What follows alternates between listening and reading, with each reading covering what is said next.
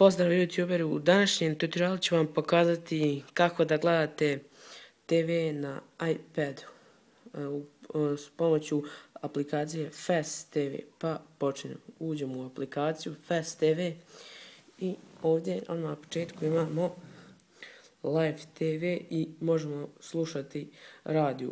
Pa uđemo u Live TV. Sad ovdje imamo programa i na primjer uđemo u neki, evo, ovdje.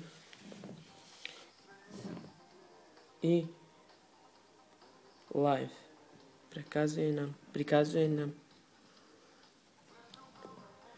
I ja sada uđem u radio. Da ne bi ovdje ne radi.